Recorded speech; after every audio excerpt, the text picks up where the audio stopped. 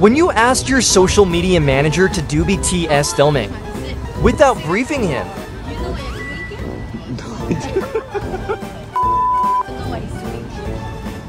ends up filming random shots.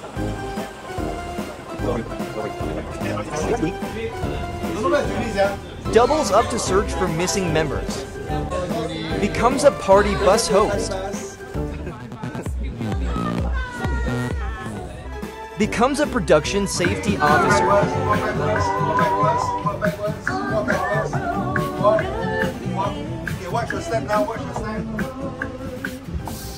Still ends up having a good day though.